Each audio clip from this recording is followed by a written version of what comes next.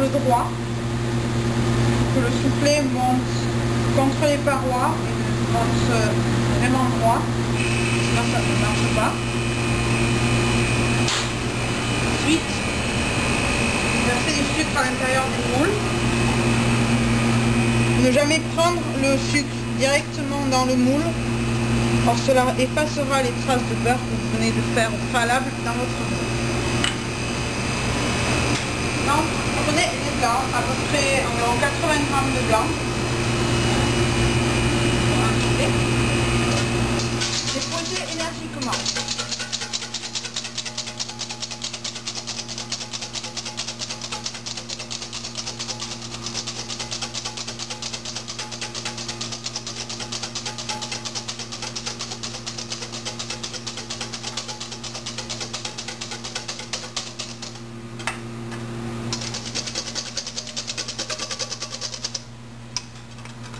Consistance beaucoup plus que, que mousseuse, presque à la meringue. Ajoutez le sucre. Pas trop, le sucre sert juste à serrer les blancs pour éviter qu'ils grainent et qu'ils retombent.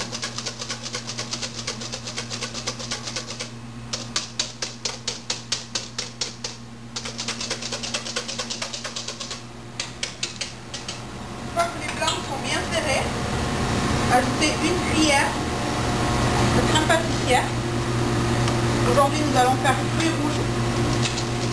Vous pouvez faire à toutes les sortes, les grands marniers, chocolat, noisettes, abricots, tout est possible. Mélangez assez rapidement, sans trop fouetter. Voilà, le mélange est terminé, il est mousseux, il est quand même assez ferme. Utilisez une corne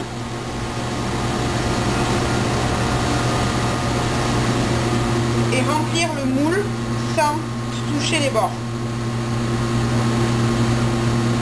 Donner une légère tape afin que le moule soit bien rempli de part et d'autre.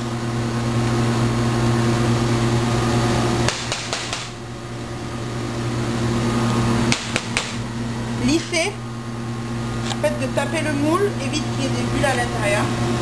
permet d'avoir un soufflet bien droit et bien garni tout au long de cette pression et tout au long du soufflet.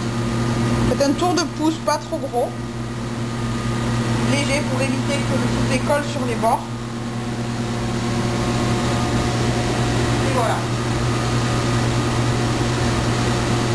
Prenez votre soufflet, mettez dedans.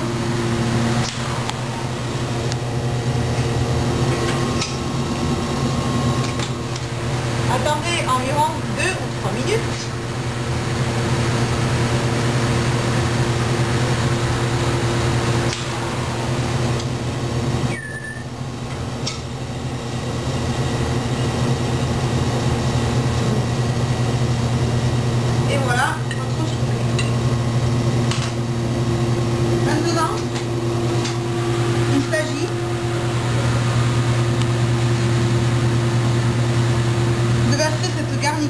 Qui est un coulis de framboise fraîche. Vous faites un petit trou avec une cuillère à l'intérieur. Et vous versez votre coulis qui va tomber au fond, il va se mettre de part et d'autre du soufflet. Voilà, bon appétit